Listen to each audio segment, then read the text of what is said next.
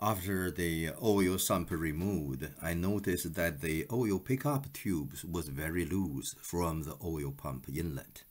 So you can see from this photo, the O-ring at the end of the pickup tube was nearly at the edge of the oil pump inlet. So this may have caused my engine cold start vibrations and noises until the oil pickup tube was sucked a little bit into the oil pump inlet. From this photo, you can see that the uh, oil pickup strainer is situated below the oil pump and the balancer assembly, close to the rear of the engine. There are two bolts for holding the oil pickup strainer onto the oil pump and balancer assembly.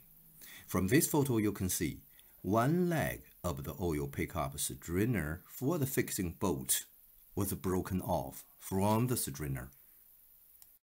Why did we have a loose oil pickup tube and a broken strainer fixing leg? We found a possible cause. Dented oil sump. After I put the sealant onto the oil sump and tried to install the sump onto the engine, I found I couldn't without forcing the oil pickup tube away from the oil pump inlet. Why?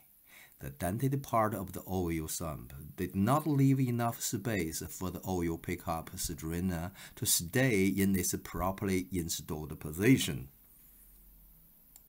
This photo shows clearly the dented oil sump. Somebody may have jacked the car from the oil sump. I managed to knock the dent out and install it properly. This is the happy story.